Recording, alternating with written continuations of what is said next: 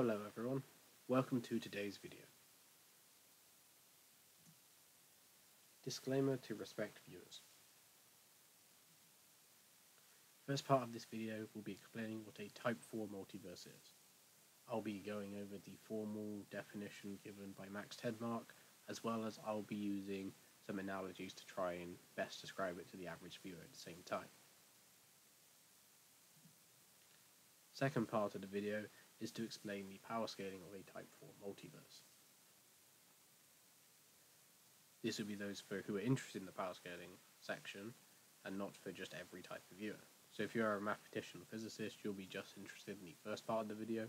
If you're a power scaler, you'll probably just be interested in the second part of the video.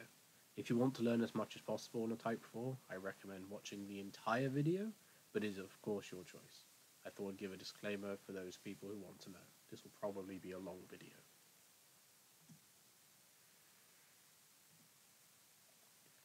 Do a clarification on what Type 4 multiverse is being used. I'll be using Max Tegmark's Type 4 multiverse as opposed to Brian Greene's 9 types of multiverses. Tegmark's are more generalized and give a direct distinction in the hierarchy of multiverses, while Greene's has several layers that are very identical to each other without major distinction, the best example being the Brane multiverse and the Cyclic multiverse.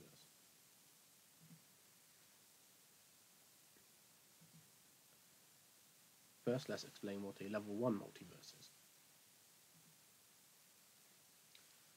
Level 1, other Hubble volumes have different initial conditions or an extension to the universe. The secondary description is far more useful as it shows a Type 1 multiverse is just a very large universe with potentially infinite matter, possibly finite. Hubble volumes are the volume of space required to maintain a universe and are finite. Tegmark estimates that an identical volume to ours should be every 10 to the 10 to the 115 meters away from us. Now, for a description of how large 10 to the 10 to the 115 meters is, the radius of the observable universe is 8.8 times 10 to the 26 meters or about 10 to the 10 to the 1.43 meters. So imagine the difference between a human and the universe. Think about the multiplier difference, in fact, the multiplier. Now, imagine using that multiplier 80 times, and the gap between each universe would still be bigger. A very large number, but still finite.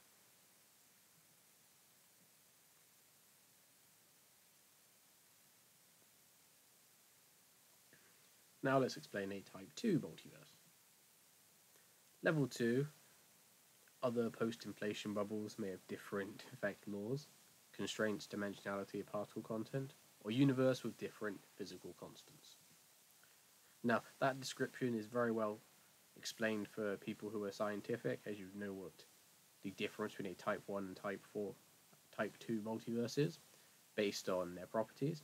However, it doesn't explain very much to the average viewer.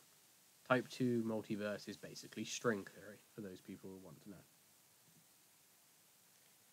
String theory, more specifically M theory, is going to be up to 11 dimensional. Type 2 multiverse can be really any finite dimensional, but the specific example given in Tegmark's paper is 11 dimensional.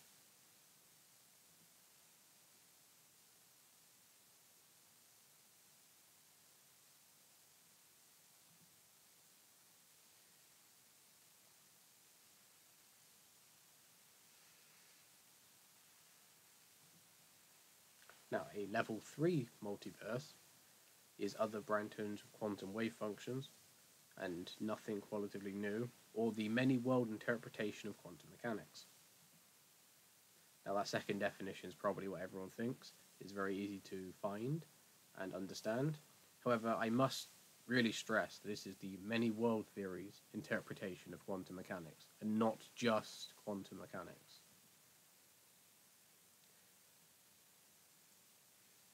I like to generalize and simplify, but not all quantum mechanics is the many world theory of quantum mechanics.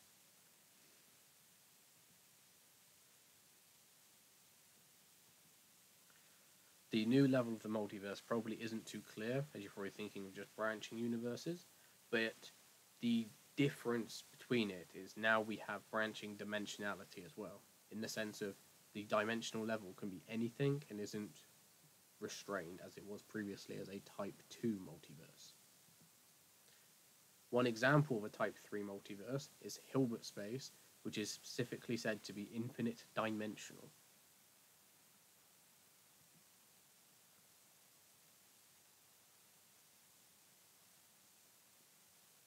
Okay, now we're at the topic of the video, a Type 4 multiverse. A level 4, other mathematical structures have different fundamental equations or physics, or the ultimate entanglement, or the ultimate mathematical universe hypothesis. It has many names. When considering the lower multiverses, we can consider the difference in their restriction, like the difference between a type 1 and a type 2 is its restriction of only being 3D.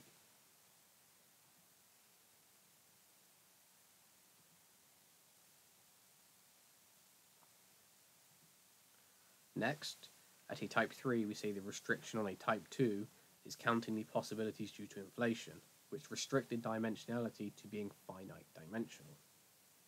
A type 3 is not finite dimensional, it is infinite dimensional.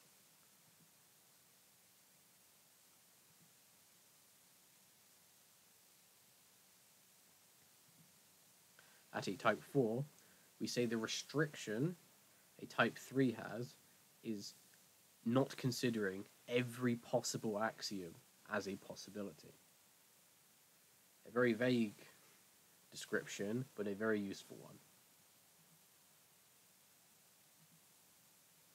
Now I'll be going in a more detailed explanation and also a more formal one based on the papers of Mark Tegmark.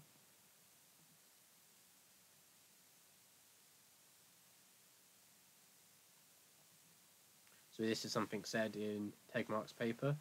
I'll have it read out to you instead of me saying it to make sure all the words are said correctly. This is the level 4 multiverse. It can be viewed as a form of radical Platonism, asserting that the mathematical structures in Plato's realm of ideas, the mindscape of Rucker, 1982, exist out there in a physical sense. Davies 1993 casting the so-called modal realism theory of David Lewis, 1986, in mathematical terms akin to what Barrow, 1991, 1992, refers to as pie in the sky. Okay. Now, this is just an analogy of Tegmark. This isn't the actual description of a Type 4 multiverse, but it's useful for getting some idea of its size. The best thing helping for its size would be the Plato's realm of ideas and the mindscape of Rucker. Plato's realm of ideas is a conceptual realm where Platonic concepts would reside.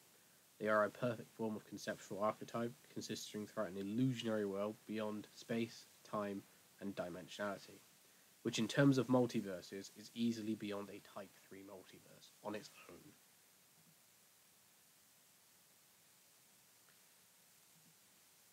The mindscape of Rucker is a concept of infinity application with the number of possibilities is transfinite arithmetic, they've got paradoxical infinities, and they've got unnamed infinities as well as much more.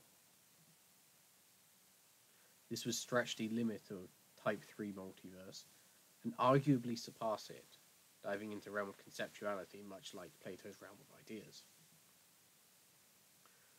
So, just for a moment, imagine the possible layering you can get if each layer was going from a finite universe to Plato's realm of ideas, and the number of layers was that of Rucker's mindscape, with the massive infinity, that's paradoxical infinities and unnamed infinities.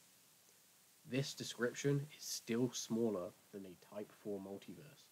However, it does get the idea and it is very, very large.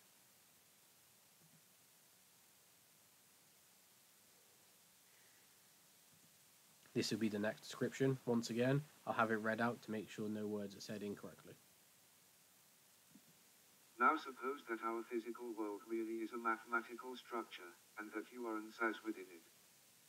This means that in the mathematics tree of figure 8, one of the boxes is our universe. The full tree is probably infinite in extent, so our particular box is not one of the few boxes from the bottom of the tree that are shown.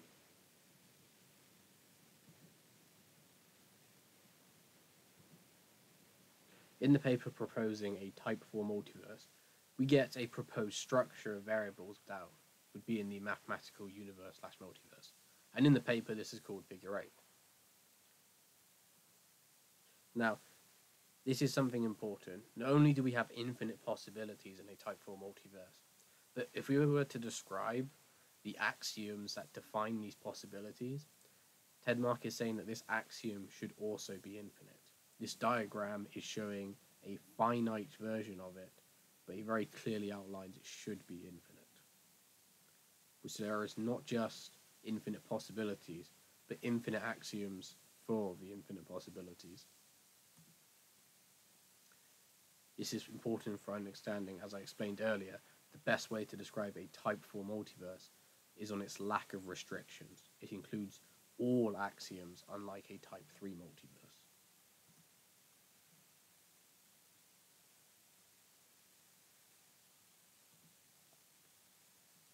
This is the next description, a much longer one, and once again, I'll have it read out to make sure everything's said correctly. In other words, this particular mathematical structure enjoys not only mathematical existence, but physical existence as well. What about all the other boxes in the tree? Do they too enjoy physical existence? If not, there would be a fundamental, unexplained ontological asymmetry built into the very heart of reality, splitting mathematical structures into two classes, those with and without physical existence. As a way out of this philosophical conundrum, I have suggested that complete mathematical democracy holds, that mathematical existence and physical existence are equivalent, so that all mathematical structures exist physically as well. Okay, that's very long and complicated.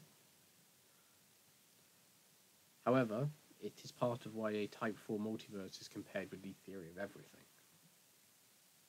What Ted Mark is saying here is if you can define a mathematical structure inside set theory, even if it's not shown to physically exist, its concept does exist and therefore is contained in a Type 4 multiverse.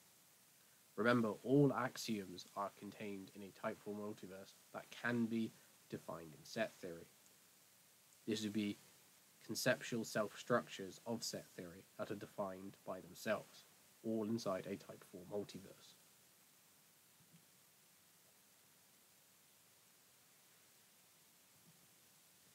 So, with that being said, let's make a quick summary of the three main points of information explained so far in this video for a Type 4 multiverse.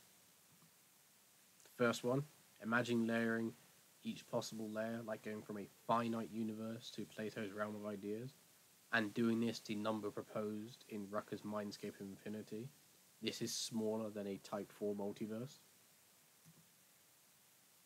2. Not only do we have infinite possibilities, but the tree describing what axioms can be defined is infinite itself, with all possibilities to, that can be defined in set theory. And 3 if you can define a mathematical structure in set theory, even if it's not shown to physically exist, its concept does exist and therefore is contained in a type 4 multiverse, as all axioms that can be defined in a type 4 multiverse using conceptual self-structures of set theory are defined in a type 4 multiverse. Now, one of these descriptions is sadly an analogy, so it's not the best at outlining what Ted Mark means. And another one of these possibilities is not that friendly to the average viewer who doesn't understand like how diverse set theory is. So I'll be using another paper to try and make these two descriptions simpler.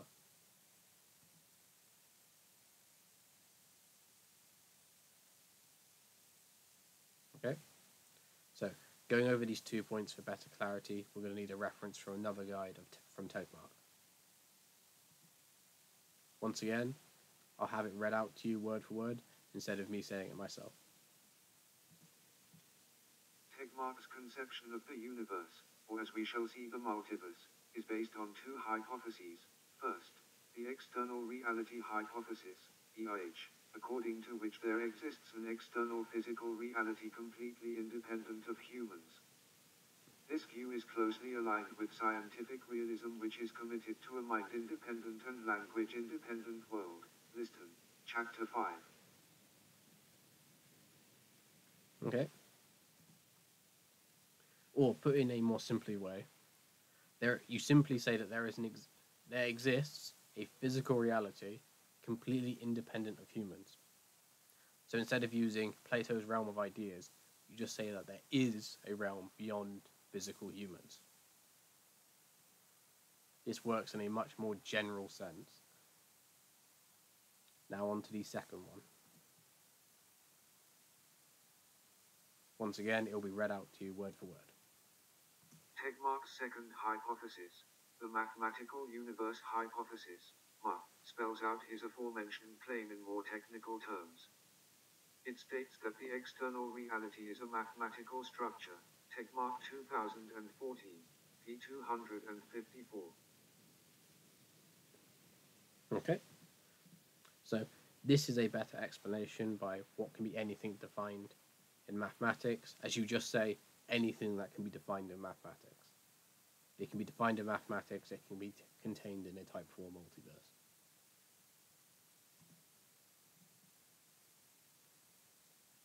So now we'll just put in those two new descriptions as a simpler one to the two old ones.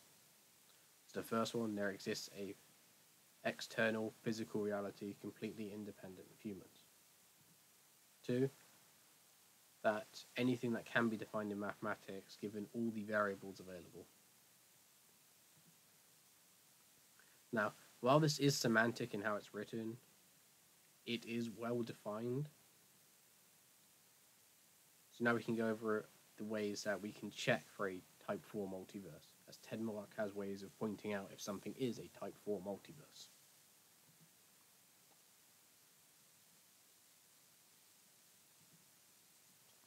Now, Ted Tedmark himself said that there only needs to be two assumptions to show a type 4 multiverse. They are as follows. This will be read out as always. Assumption 1 that the physical world, specifically our level 3 multiverse, is a mathematical structure. And now the second assumption. Assumption 2 mathematical democracy, that all mathematical structures exist out there in the same sense. Now, these are well defined in how they are written. However, I do feel like the interpretation of these assumptions may lead to some confusion. So, based on the three points made earlier, I also made some assumptions that can be used to show if something's a type 4 multiverse or not. Do count Tedmark's ones as like original assumptions and much better than what I'm about to describe. These ones are more to to give a second form of clarity, is all.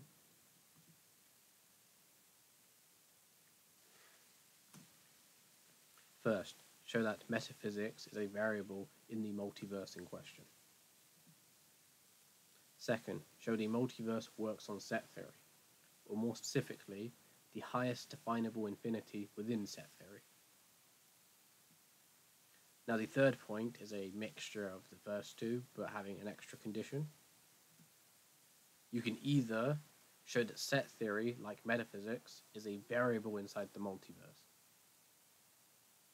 or you can show that metaphysics in the multiverse has another higher level to itself, much like how metaphysics is to physics, you need another metaphysics higher than that, like the metaphysics of metaphysics, that type of thing.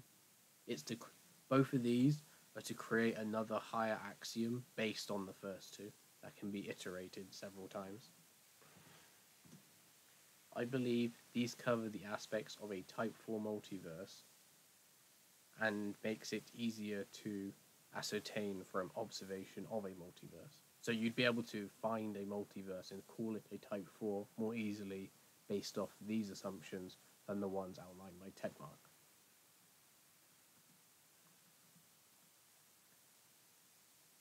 Okay.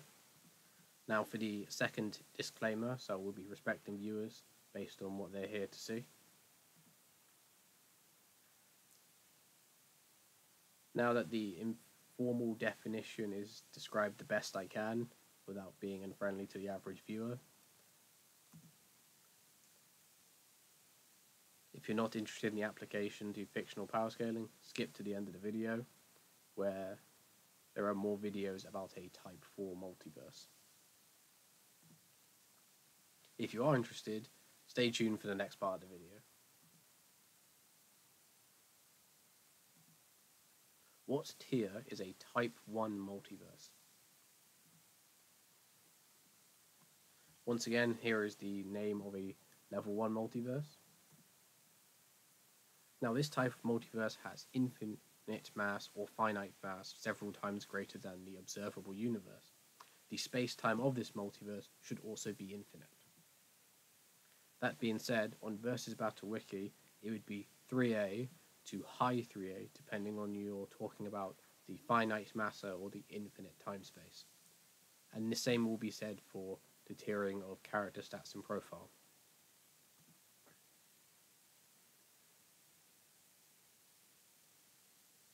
Now, what tier is a Type 2 multiverse? Once again, we have its official name as it's given. However, as we said before, that a Type 2 multiverse is basically string theory, which is 11 dimensional,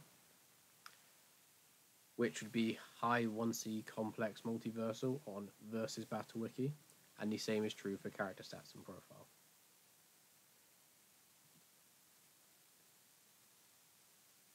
Now we are on to a Type 3 multiverse, which is, is people remember, the many world theory interpretation of quantum mechanics. Given that this is infinite dimensional, it would be high 1b, high hyperversal on Versus Battle Wiki, and the same is true for character stats and profile. Which, more interestingly, character stats and profile actually give the same description of Hilbert space being infinite dimensional as Ted Mark's original, original paper.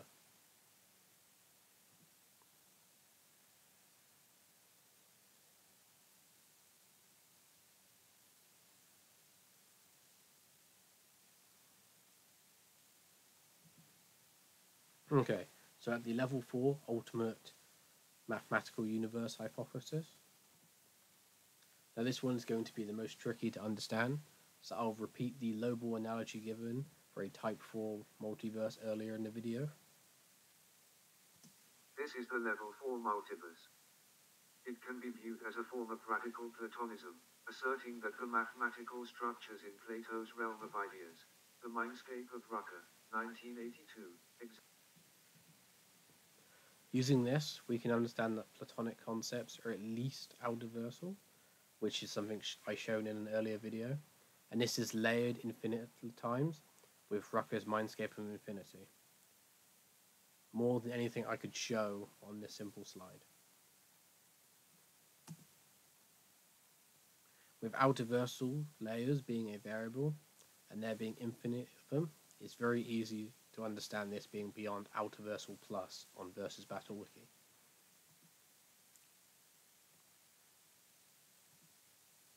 Also, because of the nature of recursion, we can justify there being beyond infinite outerversal transcendences in an upwards hierarchy. This would make it greater than a high outerversal that is shown on Versus Battle Wiki as well.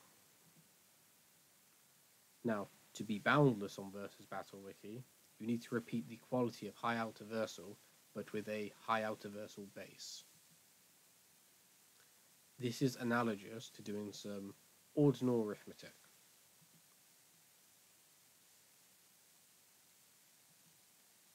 Now, let's denote a capital omega as outerversal, like this.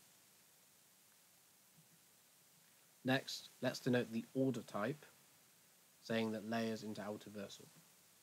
So, capital omega plus 1 is one layer above baseline outerversal capital omega plus infinity is outerversal plus. So we have infinite layers above baseline outer versal. Capital omega plus capital omega would be an outer versal transcendence over outer versal. Now, let's denote capital omega plus capital omega plus capital omega an infinite number of times as omega times infinity. Omega times infinity would be high outer versal on versus battle wiki.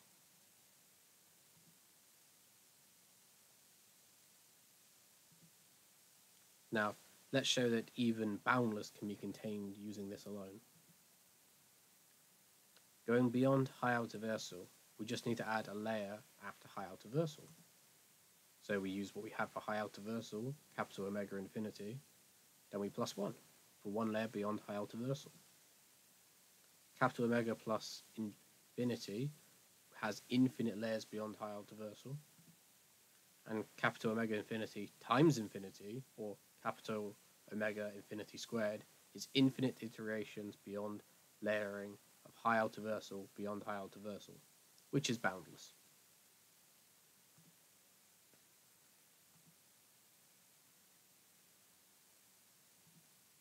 Now, for people who know ordinal arithmetic, as I do, you should know that instead of using infinity, I should be using the lowercase omega to denote what comes after infinity.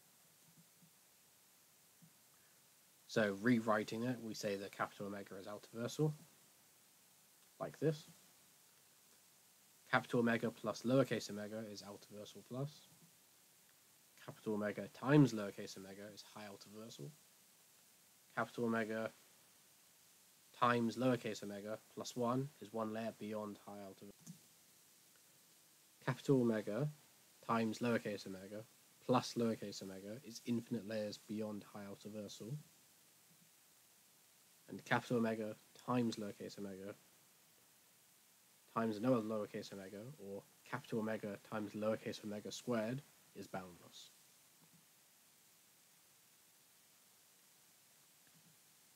Now, in a previous video, I went over why I think character stats and profile have a higher version of High Outerversal than Versus Battle Wiki. If we were to put ordinal arithmetic, we would say that the character stats and profile High Outerversal would be capital omega, capital omega. And that would be the High Outerversal and character stats and profile. we will be using this to move on. Now, this is very interesting as it shows we can iterate layers into the capital omega as well. So imagine doing an infinite multiplication of capital omega. Now, this is nowhere near a type 4 multiverse in size. So I will introduce a mathematical concept called the Veblen hierarchy to try and get closer to what a Type 4 multiverse is. In this video, we've had various ordinals, such as omega, epsilon, zeta, and eta. But we can only declare new ordinals so many. We don't have an infinite number of letters. So we're going to use a new notation we have phi. Then we have alpha. This is the level of the ordinal. We'll get into that later. Let's have phi alpha when alpha is equal to zero. That's phi zero. Phi zero is equal to omega. open close parenthesis, let's just have an x. This is the index of omega. When alpha is equal to 1, that's phi 1x. This is equal to epsilon sub x. Then phi 2x is equal to zeta x. To recap all of this, phi 0 is equal to omega. Phi 1 is equal to epsilon. phi 2 is equal to zeta.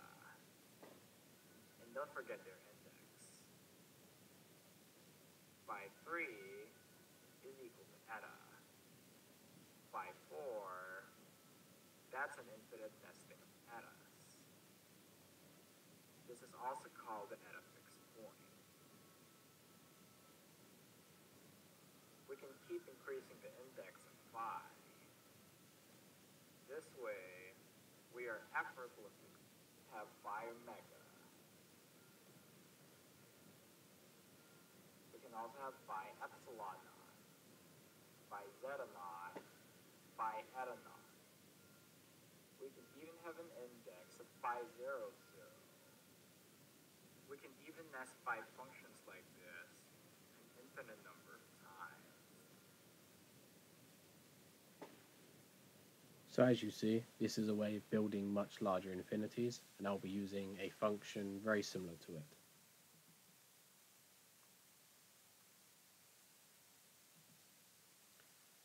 Following this example, I'll make the k function. It will be defined as follows. k of 0, normal humans, is 0. k of 1 is altiversal, or capital omega k of 2, high altiversal on character stats and profile, is capital omega, capital omega. Now, imagine how large these would be. k of infinity. That would have the infinite omegas we mentioned earlier. We can also have k of capital omega. So instead of having an infinite number of them, we would go back to what omega is, and that's altiversal we would have an altiversal number of omegas. We can also use the k function inside itself and nest itself several times over to get an infinite nesting of k's. Doing this, despite how massively large it is, it is still not as large as a type 4 multiverse. This nesting of infinite hierarchy of omegas will never reach a type 4 multiverse.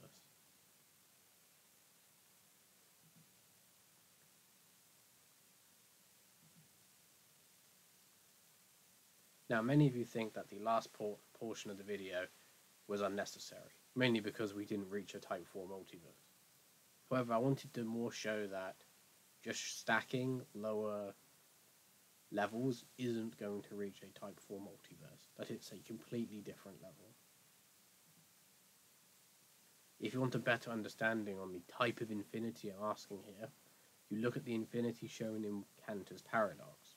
This infinity will be shown in this video never-ending chain of infinite sets. Let's start with the natural numbers n, followed by the power set of n, and then the power set of that power set, and so forth. Each link in this chain will have a cardinality that is strictly greater than that of all the previous ones, according to our theorem, which means there is no largest infinite size. Let's go back to the original list of sets, not the sizes, the sets, and let's form their union. In other words, I want to take all the elements of the set n, all the elements from the set P of n, and from P of P of n, etc. And I want to aggregate all those elements into one big set U. Now there has to be an injective map from any of the power sets in the chain into U. Just send each element of that power set to its clone in U. That means that the cardinality of U has to be greater than or equal to the cardinality of any of the power sets that were in the chain. But now think about the power set of U itself. That's also an infinite set. So by our earlier theorem, the cardinality of that has to be strictly greater than the cardinality of U, which means by extension, it's greater than the cardinality of any of the original sets in our chain. And that means that there's at least one infinite cardinality, the size of the power set of U, that our original list missed, which means that list wasn't complete. For every cardinality in that collection, let's pick some actual set A that happens to have that size. And let's form the union U of those sets. Now, the infinite cardinality of U has to be at least as great as that of any of the A's that we union together to make it. Which means, once again, the cardinality of the power set of U will be strictly greater than all of those cardinalities. But wait a minute. The sizes of all the A's that we union together was supposed to be the totality of all infinite sizes. And that means that the size of the power set of U, which is an infinite set, so that's some infinite size, that was supposed to be one of the things in that totality. So we have a problem. The size of the totality of all infinite sizes is somehow greater than itself. As you see, it's a paradoxical infinity, so large that it would contain itself.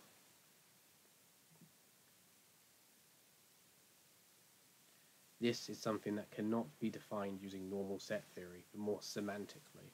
And this is the number of layers beyond anything outerversal, boundverse, all of that, that we would expect to be in a Type 4 multiverse. This is the first Beyond Boundless tier I've done on this channel, and I'll show it with this nice new title. It will be part of the Beyond Boundless series, where I'll be doing several things beyond the Boundless tier of Versus Battle Wiki.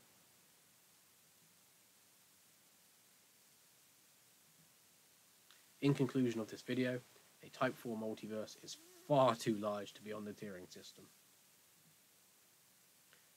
If you think I made a mistake, do comment down below. It's the only way I'll find out if you tell me. Check out these other videos on a Type 4 multiverse. In the description, there will be many sources used in the making of this video. This will include articles on a Type 4 multiverse. It will include articles on Cantor's paradox, Rucker's Mindscape of Infinity, as well as previous videos I mentioned in this video, such as Platonic concepts being outerversal. I hope you all enjoyed this video. It's been very long. I hope it was informative, and I hope you all have a very good day. Thank you for watching. See ya.